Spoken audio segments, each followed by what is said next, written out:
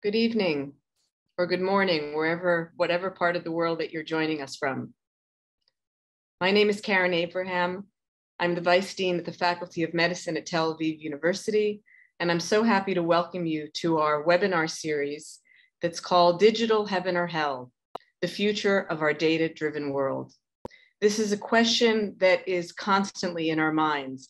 It's going to determine our future at every level, and it's already here, and we're very much concerned in terms of our children and what it's doing for them, in terms of the benefits that it's giving us for medicine, for agriculture, for climate change, and for all of the issues that we're facing today and that will follow us in the future. I'm extremely fortunate to have two of my colleagues joining me today. And together we've actually been working to bring together and form a bridge between humanities and medicine. And so my two guests today are Dr. Galit Wellner and Professor Noam Shomron. But before I start with introductions, I just want to let you know that when you have questions, please put them into the Q&A. And after the two presentations that we'll hear today, I'm going to go through some of those questions. We'll get them answered from our uh, from our uh, guests. And I'll also have some questions that I'm very curious about which I'll ask both Dr. Wellner and Professor Shomron. So again, welcome to this event. Very happy to have you here and for us to start talking about the datafied self, health and happiness in the digital age. So first, let me introduce our first guest, Professor Noam Shomron, who I've been working with for many years, wonderful colleague. And Noam is passionate about using basic science to advance better healthcare. He heads the functional genomic team at the Faculty of Medicine, a very large team of incredible graduate students, staff, research scientists, and postdoctoral fellows. He joined Tel Aviv University after training at MIT, and he now leads a very large, as I said, multidisciplinary team of scientists, and they're working to develop computational methods for parsing big data in the biomedical field. They also work on experimental data and they're trying to understand diseases at a very deep level. Professor Shomron is also the director of Djerassi Institute of Oncology. He's the editor of a book that I highly recommend for those of you who are interested in reading it called Deep Sequencing Data Analysis. He's director of the Rare Genomics Israel. He's academic director of Science Abroad and he's co-founder and chief scientific officer of Variantyx, which provides clinical interpretation of whole genome sequences. And what I can say about Noam is since he's joined Tel Aviv University, he continues to be at the absolute forefront of genomic medicine and helping us really understand what's happening on the level of several diseases, which he'll talk about in the next minutes, and understanding them in the deepest level using both machine learning and artificial intelligence. So Noam, welcome. Really glad to have you here. And please tell us about your work. Thank you for the introduction.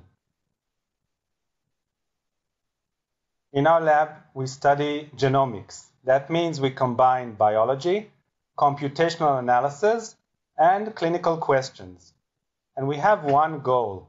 We want to reach better decisions next to the bedside. We want to help the physicians and the clinicians reach a better decision that can not only extend life, but improve the quality of life. For that, we need to collect significant clinical data. Various data. It could be DNA information, it could be electronic medical records. And we have to use computational power in order to analyze it. Our work is based on three revolutions. The first revolution started about 20 years ago. In 2000, the first human DNA was read from beginning to end. One DNA from beginning to end, 3 times 10 to the 9. 3 billion nucleotides were read of one individual. Since then, we have been trying to understand that using computational analysis, such as in bioinformatics. And also, we learned how to understand it and then write it. The best case was in the pandemic we all suffered from in the year 2020. One point mutation in a virus in a faraway country generated this devastating pandemic. However, by reading the DNA of the virus, by using computational power to understand the changes, scientists were able to write a DNA or an RNA and inject it to billions of people around the world. And this actually was able to elicit an immune response that allows us to gradually come back to our so-called normal lives. This is a test case of the three revolutions of reading, understanding, and writing DNA or writing RNA. Let's go back to basics. So a building is built out of bricks and a human being is, is made out of cells, tiny cells, billions of cells connected to each other. A collective of cells will generate tissues, some tissues together will generate organs, then systems, and the entire body. If we can take one human cell, we'll see that inside there's a tiny part called the nucleus in all our cells.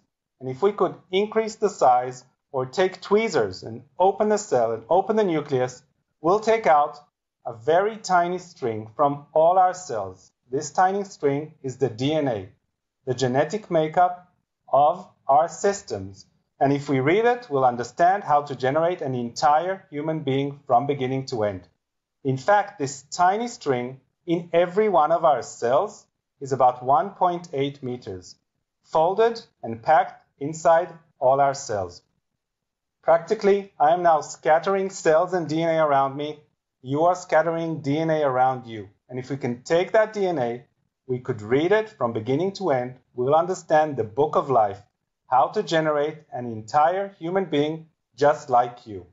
And in fact, all living organisms or creatures on planet Earth are made out of cells, and all these cells have the genetic makeup in them. Also, yeast and bacteria, and even viruses. Imagine we could predict the future. In fact, we can. We wake up in the morning, we take out the supercomputer that we have in our pockets or on our shelves, and we know whether we should take an umbrella in order not to get wet on our way to work or which route we should take in order to avoid traffic jams. So this is based on the advancements in computer power and storage. And you can see an example here. This is the leap in 60 years, a huge leap in 60 years, which allows us to foresee which road to take or whether we need to take an umbrella. Will we be able to wake up in the future and ask our supercomputer which drug should I take or what should I eat or what sports should I play in order to extend my life or quality of life? Well, probably yes, but this will depend on an additional technology, and that is DNA sequencers, or our ability to read the DNA, the genetic makeup.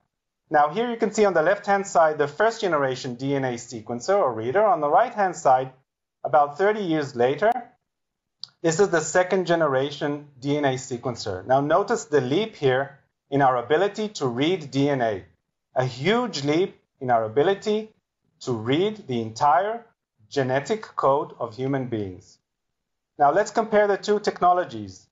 Here we're plotting the leap in our ability to compute or use computers.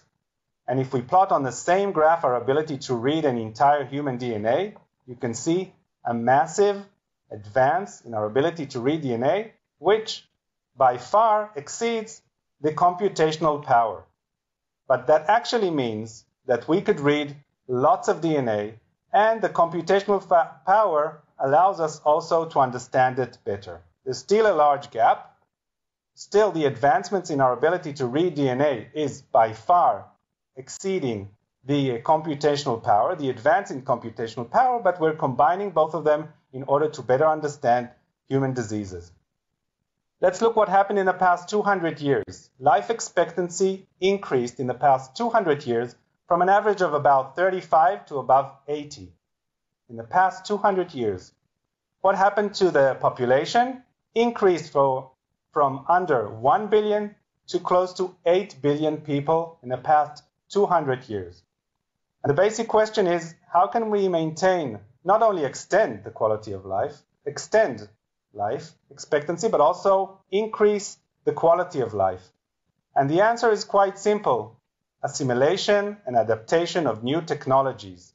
and there's an increase in assimilation of new technologies. The better the technology, the easier it is to use. We've seen throughout the years the adaptation increases gradually.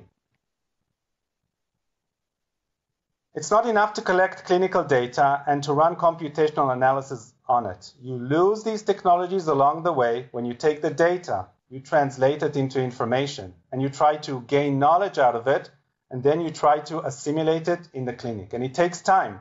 What we do today is actually sick care. What we want to reach is health care. Catching or capturing the diseases extremely early when you can change the course of the potential disease. And this is what we do here in our lab at Tel Aviv University. And I'm going to tell you three stories about three experiments we ran in the lab. If we look at our blood and we look at various molecules inside our blood, we can notice that some of our cells release tiny snippets or tiny parts of DNA, mostly from healthy cells. But if we look very carefully and we use a lot of computational data and a lot of analysis of DNA we will also notice very few molecules from sick cells or cells that are deteriorating in health. Now, if we combine the two technologies I showed you, we will be able to detect diseases and separate them from, separate healthy from diseased individuals, but maybe we can also detect them ahead of time. In our first study, we wanted to see whether we can separate four types of cancer based on tiny DNA snippets floating in our plasma. And what we did is we built an algorithm that understands what types of DNA molecules are present inside four different types of cancer. After training our system, we took it to new data and we asked the system to separate the four types of cancer based on the knowledge of the training set. And what we saw is that we were able to identify colorectal cancer from tiny pieces of DNA in the blood at early stages at a very high accuracy. We also were able to detect breast cancer, lung cancer, and ovarian cancer. That means that by looking at small DNA molecules inside our blood, we will be able to separate the type of cancer and hopefully eventually also detect it very early for early intervention or changing the course of the disease. In our second study, we looked at stool samples. We took stool samples of colorectal cancer patients and controls. We extracted the DNA from these individuals and we trained our computational system to tell apart the DNA of these sick individuals from the healthy individuals. After training them, we tried a new set and in the new set, we were able to separate the disease from the healthy individuals even better than conventional methods. You can see the red line here is based on our algorithm. The other conventional methods of identifying the cancer perform less accurately than what we, than what we reached. What we did see is that the separation is not only based on the human DNA, but also based on the bacterial DNA, meaning that the microbiome or the bacterial content of colorectal cancer patient changes based on the disease. And if we read the DNA in the stool, we will be able to separate the diseased one from the healthy ones, and maybe we will also be able to do it at a very early stage for early intervention. And in our last and third study, we ran an experiment which is called non-invasive prenatal testing. These tests have been common in the past few years, and currently they run like this. In a pregnant woman, at uh, week 10, there are small pieces of DNA running in the blood, and these are mostly the mother's DNA. However, about 10% of the DNA in the mother's blood are small snippets of DNA from the placenta and the embryo. Now, if we use the computational power and use the power of reading the DNA deep enough, we thought that we will be able to separate it. What we saw here is that conventional methods now use reading the DNA and looking for gross changes at a very high, uh, at a very low magnification. And if they identify a bit more of chromosome 21, the mother is not sick. The conclusion is that it's, it's probably based from a duplication of uh, chromosome uh, 21, or it could be 13 and 18. But if you think about it, actually looking at chromosomes is a very low resolution. It's like looking at planet Earth from a satellite and trying to figure out if there's an additional continent. What we thought is maybe we could look at a higher resolution and a higher magnification and look at towns and villages and streets and maybe look at specific houses. And if we increase that magnification, we will be able to see not only changes in entire chromosomes, but also point mutations in the DNA. And this is an example here of how we train the system to tell apart mother's DNA from embryonic DNA. You can see the fragment sizes. In black, you see the fragment sizes of the mother's DNA. In red, you see the fragment sizes of the embryonic DNA. There's an overlap, but there's still a separation here. We added additional features till the separation was clear enough. After we had a very clear separation between the mother's DNA and the embryonic DNA from a simple blood test taken at week 10, we, will, we were able to rebuild the entire embryonic DNA from beginning to end. In 2009, we published it, the first embryonic DNA from a simple blood test taken at week 10 of pregnancy.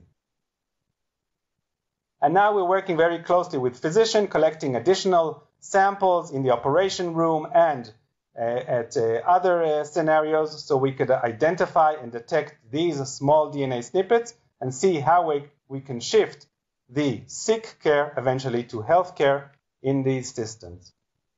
So when we think about big data's role in future in the future of medicine, we actually feel like we're trying to drink from a fire hydrant. Huge amounts of data, a lot of computational analysis, and we can't even grasp them all.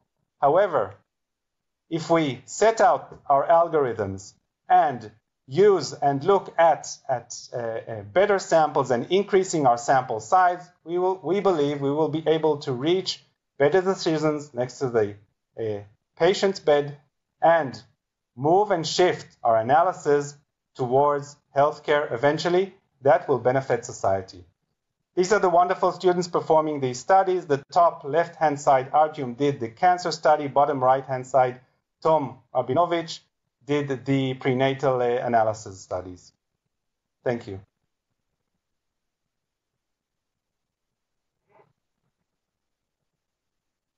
Noam, thank you very much. That was remarkable. I, I, have to say, when I think in perspective of what you're doing, it's the digital heaven because there's no question that what you're doing is making a really remarkable impact on healthcare and I think is, is really not just the future of medicine, but should be the now of medicine. So thank you very much for that really exciting and very, very easy to follow lecture. Okay, so now we're gonna look at the other side of the spectrum. I told you earlier that um, one of the things that we care very much about is the bridge between humanities and medicine. And so we've invited Dr. Galit Wellner, also a very close colleague of mine, I'm proud to say. And she's a lecturer in the multidisciplinary program in humanities at Tel Aviv University. Galit studies digital technologies and their interrelations with humans. She's an active member of the post phenomenology community, which studies philosophy of technology. And I hope we're going to hear more about that in the next few minutes. She's published several peer reviewed articles and book chapters She's written books, she's translated very critical books to Hebrew, and she's currently working on more, dealing with digital imagination and an attention in the digital age.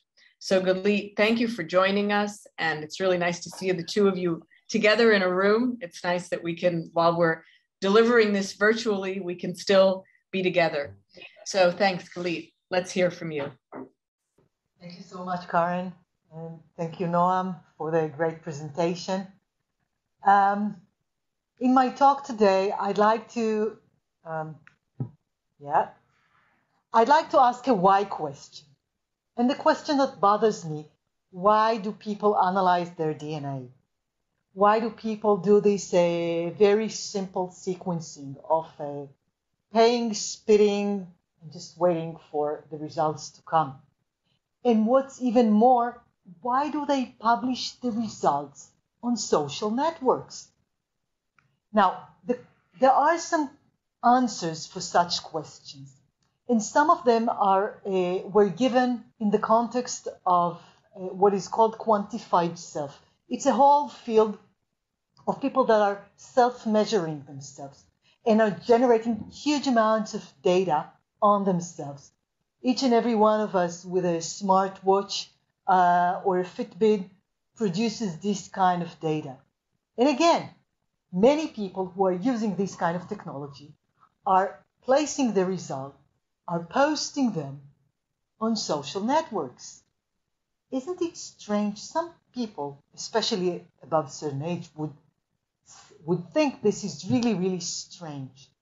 And I'd like to give some answers that were already given in the context of the quantified self, and I believe that we can learn something from that context.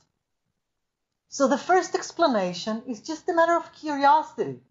Just as we sent curiosity to Mars to know what is out there, so the same process goes inside to know what's inside us what's in there. And it's so interesting, isn't it?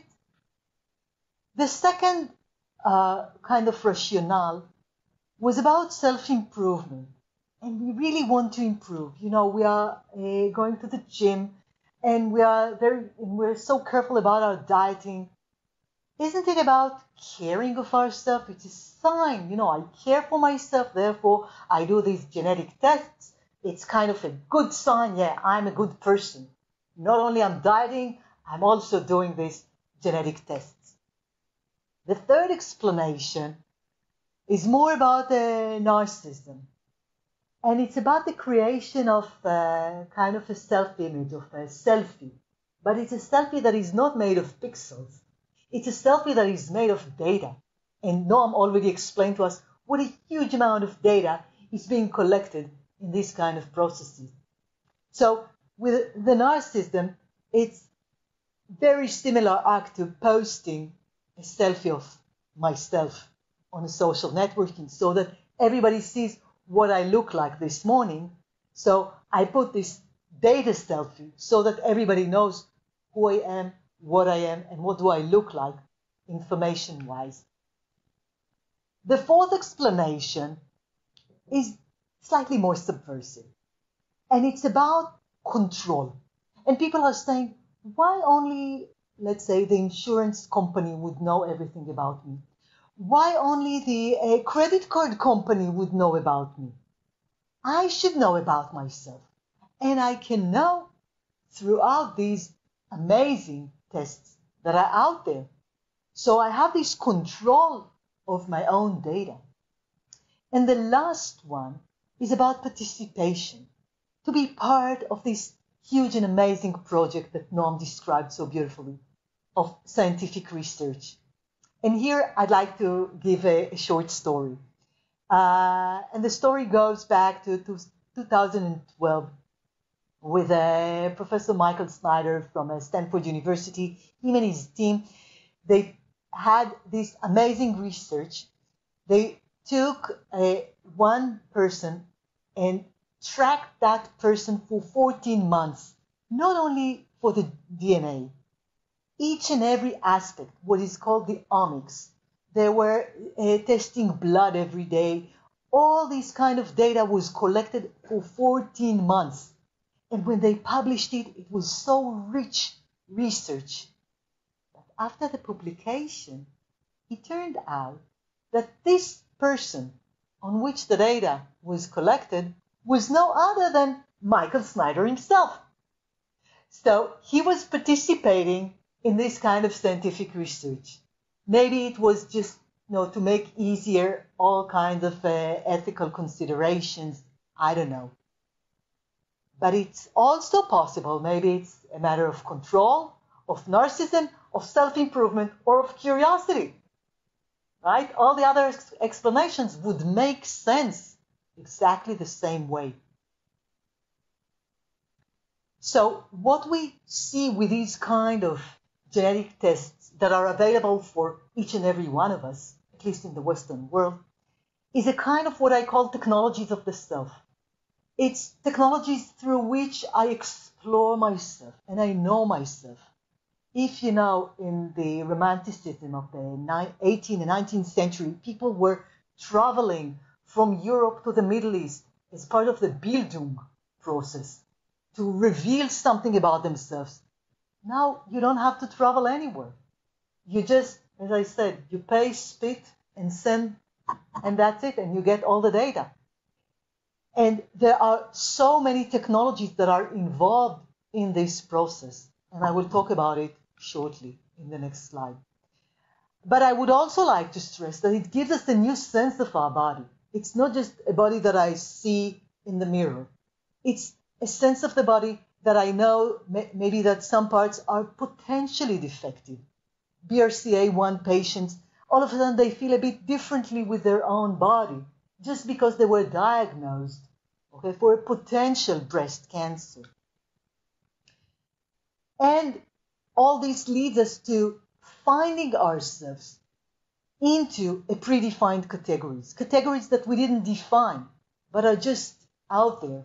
And we are classified into them throughout these genetic tests.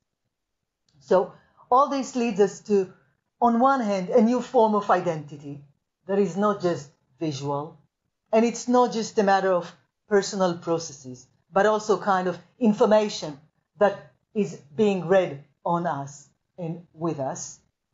And also, it's a new formation process, something that we go through, but with data and with technologies. Sorry.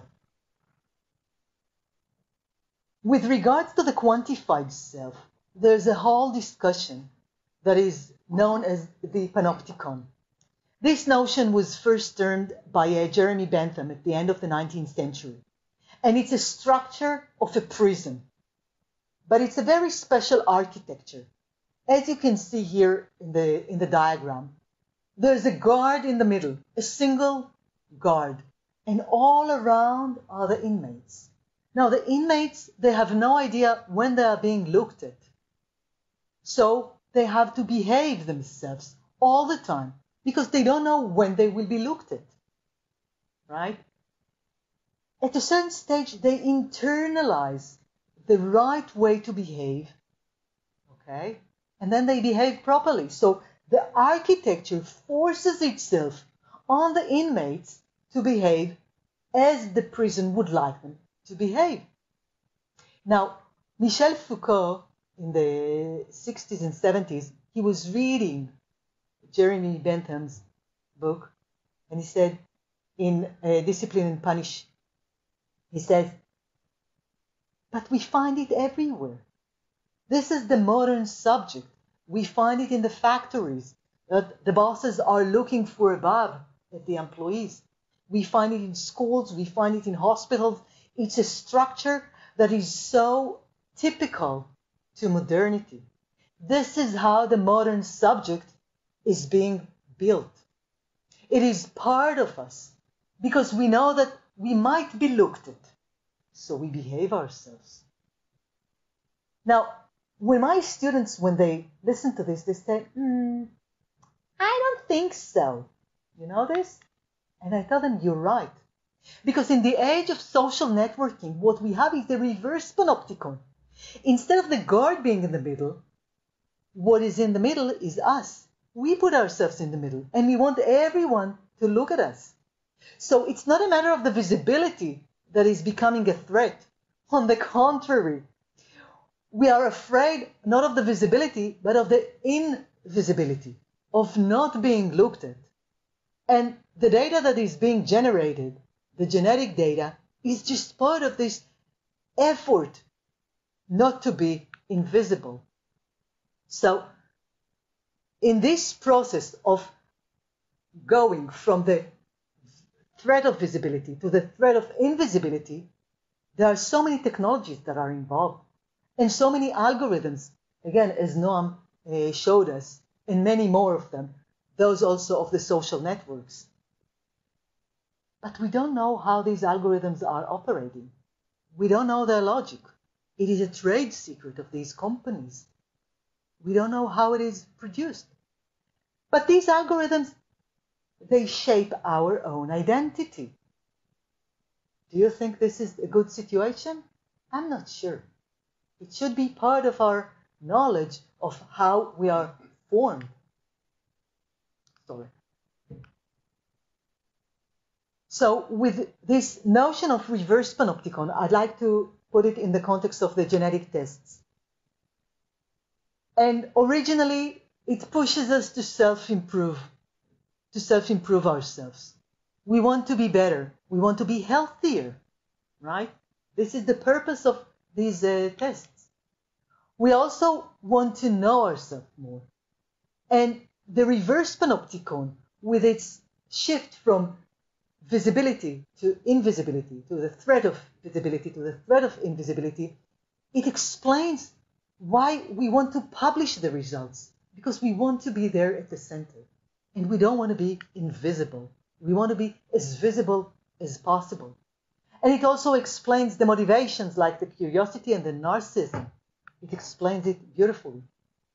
But again, and I would like to stress it again, the visibility is determined and managed by opaque algorithms whose logic is concealed from us. We don't know the logic. So, with this in mind, I would like to see more visibility of these kind of uh, algorithms.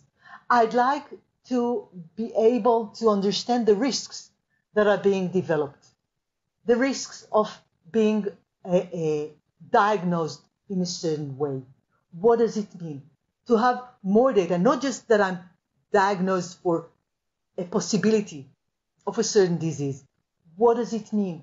What kind of diet should I be taking with it? All this data should be available once I know that I'm part of this group that I didn't know that I belonged to. And I would like to have new tools to investigate the risks. And I'd like to bring you one risk, one such risk. Noam was speaking of how genetic tests should be closer to the patients. And he's right. They should be closer. But they will be closer also to healthy people. And let's think of an employer who wants to screen potential employees. Maybe that employer, let's say it's an investment bank. And the investment bank would like to hire people that are stress resistant. Is it possible to get this data via genetic tests? And if he does, what kind of risks are involved in this process? I'd like us to develop this kind of risk assessment and have the proper tools to investigate it. Thank you so much.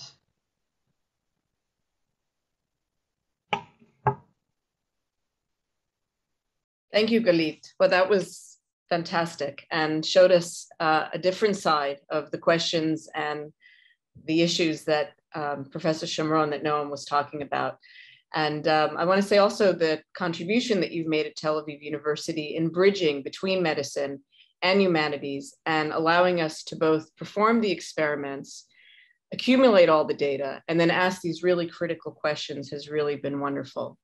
It, it also fits on, on something that both of you has alluded to that we're starting a new center for the research on aging at Tel Aviv University. And I'm sure that both of you will be involved because the questions that you've posed have long-term ramifications there as well. So the, there's, there's, well, there's a lot of questions. I'm waiting for some to come through the Q&A, but I have some burning questions in the meantime. So Noam, let's, let's turn back to you. Uh, today, if you want to get a blood test, nobody thinks twice about it. You go to your HMO, to your physician, you order a blood test, you get the lab results. Nobody seems too concerned about who sees those lab results. And there's a lot of information actually there that's, that's being used by the HMOs to make predictions about disease. But as you said, it's a little bit about resolution, and we're definitely in a place that we can resolve what's going to happen to us not only now, but in the future, much better through the DNA genomic technologies that you've talked about. So, what do you predict? Are we going to be able to read our DNA one day as easily as we can have a blood test? Yes, we will be able to do that, but it's a very subjective question. Currently, if you want to read your DNA, you usually sit in front of your physician or geneticist or counselor, and uh, you ask them uh, whether you can have the DNA tested, the first question they will ask you, what do you want it for? What interests you? What are the questions you want to ask? And that's a totally legitimate question. Because if, uh, for example, you had a few cases of cancer in the family, then you can mention that you're concerned that you might be carrying a gene that might lead to early uh, predisposition to cancer. So specifically, I suggest you can scan for these genes only, but not a really wide scan that would give you a lot of information that maybe you won't know what to do with. For example, if they tell you that you have also predisposition to Alzheimer, you can't really do much about that. Or Parkinson disease, you can't do much about that. So I think if you really focus your questions to uh, specific categories, it's uh, it would be fine to read your DNA and sit with your genetic counselor or geneticist or any clinician and really understand what is the reason you're asking for looking at your DNA and looking uh, for a very specific answer. So I think that you raised a point that also uh, Galit raised, um, uh, talked about, and that's whether we're talking about healthy subjects wanting to know what's happening on a genomic level or we're talking about those that already have a particular disease. They want to know what the genetic diagnosis, what the cause of their disease is. And so there are differences there that I'd like you to address, Galit, but then maybe we can hear from you, Noam, because there's what we call incidental findings. If I go in with a particular disease and I'm told exactly what the genetic reason is for that disease, there's a lot more information now that you're going to have in all of that big data that you're collecting that can give me a, a, a map of, of, of, a lot more of, of what's happening. And so, how much should I know about the rest of it if I've only come in for a particular reason? So, first, let's hear from this kind of a twofold question, Galit, from you and the difference between healthy and, and someone coming in with a disease. Before that, I, I sorry, I just want to yeah. mention that if you test your DNA, there's implications for your children their children, you know, your siblings, and also your cousins because you, sh- you share the same DNA. And right. I want to hear what you think about it. It's not only yeah. you anymore. Yeah, yeah. It's well, all in, your surrounding. In the scenario that, that you just gave, it was a matter of having a kind of a gatekeeper. And the geneticist functions as a gatekeeper that keeps people uh, from too much information. But we don't always have these, these gatekeepers. Uh, and sometimes these gatekeepers are algorithms. Uh, and today, in the, the, the, commercial genetic test, there are these algorithms. And the algorithms would say that uh, I can get uh, how, what percentage of a Neanderthal uh, person I have in, in my genetic uh, code, right? and I can get diseases one, two, three, four. But there's more data out there. And they don't reveal it like I have no idea what, what is out there. Okay. Uh, and I think that there should be a work on that. And we should make it clear for people what kind of data you get, what kind of data you should get, and how you should get it. Maybe it should be through a third party, a professional third party, a professional geneticist. Maybe there, there should be a new profession of geneticists a, uh, a, uh, uh, kind of mediator that would make sure that people get the right data at the right time because this data might influence their whole lives for nothing but right? they can still claim it's their own data and and they uh, are allowed to query themselves based on their own dna are you the one to tell them to do it or not if you want to run an mri test on yourselves can you just go and run a you know pay a center and look and, and you know get yeah. information, CT images, MRI images, and analyze yourself. So why not DNA? Exactly. And people want to be experts for themselves and they don't want to be dependent on external experts. But if we offer a kind of a service that would allow people to get more data and get it in the right way, I think it, it should be a win win proposition. And it shouldn't be, no, no, no, we should block the data from you. No, on the contrary, we want to make it more uh, applicable to you and provide you with additional information, let's say about the potential dieting, just because you have this potential for certain disease. Okay, so direct to consumer uh, DNA tests are not available in Israel by mail, but they are in the US. And there are companies offering it also on Amazon to test your exactly. own DNA. And even in Israel, I have some uh, friends and colleagues who have done this. You know, the post is working yeah, and you just I, I send it. tricks you could do. Yeah, uh, yeah. To, they just do that. Yeah. Sequence your DNA. We're going to learn some tricks here today. That's great. okay, so so we do we do have a question um, from our our audience, and it I think it's something critical to talk about because it really is in the realm of genomics, and that's CRISPR. We didn't talk too much about it today. That probably can be a subject of an entire webinar on its own, I'm sure. Uh, it's happening on the level of cells and the, on the level of models, just, just starting in humans. What do you think is going to happen on a larger scale in the coming years? And is that something that you're exploring in, in your side of research, Galit? Well, CRISPR is a is a game changer, of course. Uh, and it's a matter of uh, controlling our own future, of shaping our body. Um, and it reminds me, you know, the, the discussion that was available uh, at the beginning of the 20th century with regards to uh, uh, psychoanalysis. And funnily, you know, in psychoanalysis, they, the psychoanalyst collects so much data, stupid data, sometimes. You know, the way we pronounce a certain word, okay? It's not just about the words. And with all this kind of information, the psychoanalysis, uh, the uh, psychoanalysis enables one to understand the person that is there. And with CRISPR, it's kind of an automation of these processes. Uh, we see that also uh, with uh, the new ways of uh, uh, having um, psychological treatments online. This is the kind of a direction that I see, go, it goes hand in hand. The CRISPR on the, let's say, on the bodily level uh, and the psychological uh, treatments, automatic uh, treatments. And they are both aiming at trying to improve ourselves and create a better self of, of us. Uh, plastic surgery is, again, in the same direction. But I would like to pose a question mark. Is it really better? I don't know. I think CRISPR is a natural uh, a process that would come right after reading the DNA, understanding it. If we understand it good enough, we can now fix it. So I think certainly for diseases, we'll be seeing it much more in the uh, near future. Fixing is great, but what about people who just want to improve? You know, I have this, uh, I don't know, here and there, and I just want to improve a bit.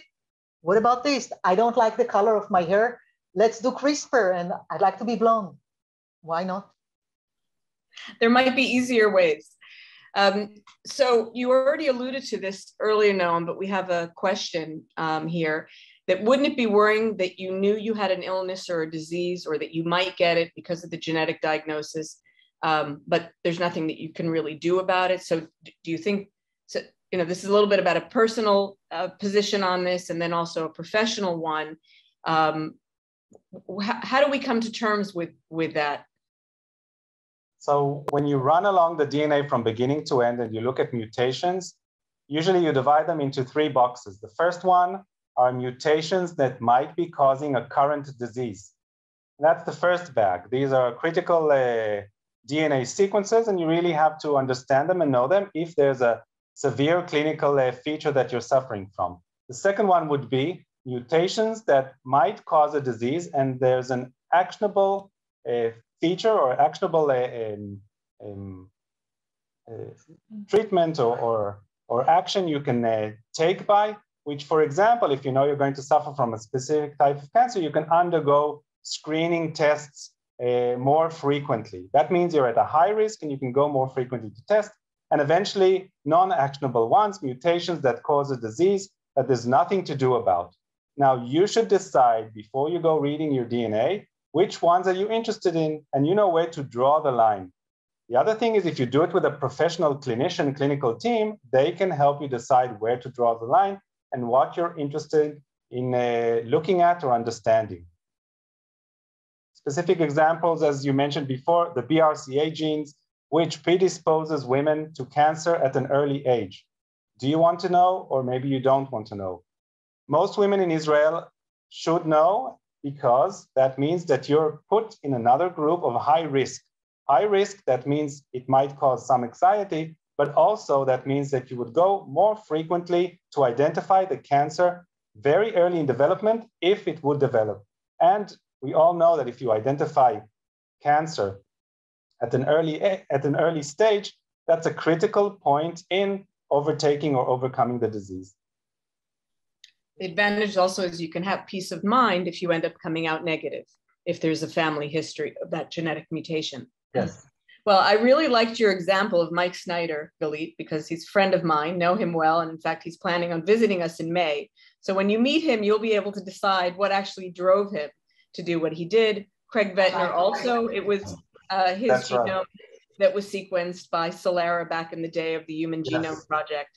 And, and there are many who, who predict that one day it won't be a simple blood test and it won't even be just reading your DNA, but we will have a full omics panel done uh, that'll be part of the precision medicine that we're all aspiring to to help improve our health.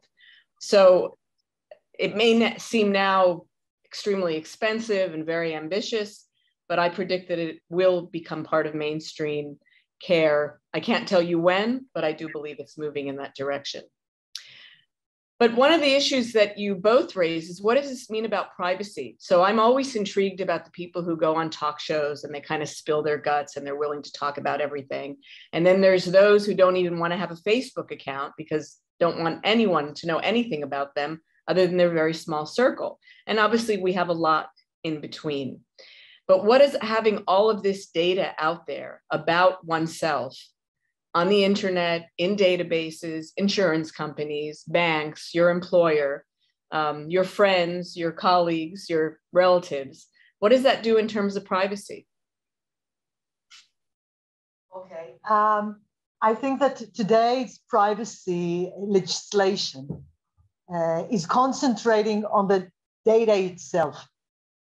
And because, as Noam showed, on top of the data, we turn it into information and then we turn it into knowledge. And, and only then we can make something uh, useful out of it. And I think that the future legislation should make sure that these uh, understandings are being available, first of all, for the holder of the data. I think that's the basics. And today it's not done. Like today, uh, if let's say if, if I want to get all my data from Facebook, I get like 800 pages of rubbish. Okay, it's like getting uh, just the, the, the genome, the, uh, the letters themselves, which is nothing. I want to understand what they think about me. The same with the genome. I want to understand what it, what's in there. And I want to have this kind of control of this data. To which party do I share it with? I can share it with everyone, of course, but I can decide that I share it only with my employer or only with my uh, medical insurance company. But it's up to me. Or maybe I should share it with my family members. But I have, but I have to make this kind of decision. And today we don't have the, the tools for that. Uh, so it's not so much a question of privacy, but it's a matter of how I look at my data and who can also look at it and from which angle. You want to add to something? You want to add something, Noam? I agree that we have a huge amount of information and probably not enough tools or professional teams that can help us digest it and make the right decisions for ourselves and also for our children. Again, siblings, cousins. If we share the same DNA, I'm not only exposing myself, I'm exposing all my relatives. Exactly. Yeah, I fully agree with you. Yeah. So this really brings me to where I wanted to wrap up, and that is education. And right here we are at Tel Aviv University, and we're, we have a huge focus on research and education and training that next generation. We saw the pictures of your big team, Noam, who's studying all of these different aspects of genomics. We have so many different programs at the university. We have a master's in genetic counseling so that there are genetic counselors who are going to be providing all of this big data. Um, we, we have School of Con Continuing Medical Education and the Faculty of Medicine so that health professionals and physicians we'll learn enough about genetics and genomics because this is this is going to be part of kind of the mainstream medicine uh, in the coming years. And so is whereas you know a while back you didn't really need to know that much genetics. Now most people that you meet on the street have actually heard of CRISPR, and so, many of them could probably describe what it is. And as we move into a world where much of this becomes very commonplace, we do have a responsibility to ensure that not only are the health professionals, the scientists, the students educated about these new tools and how to deal with all of this data, but also the public. And so, as much as we can teach people about these different aspects, um, not that we can all be bioinformaticians and computational biologists. It's so complicated. The research that we do in our lab, we work with, with Noam to be able to dissect some of them. It's really intricate, but it's exciting because I think that it gives us an opportunity to provide treatments and cures for the future um, for many different aspects, whether we're talking about some of the diseases that Noam mentioned before, whether we're talking about aging. I think it also gives us the opportunity for a much better sense of well being. So, on that note, I want to thank both of you. It was wonderful to spend time with you again. I look forward to continuing to organize as much as we can to bridge that gap between humanities and medicine.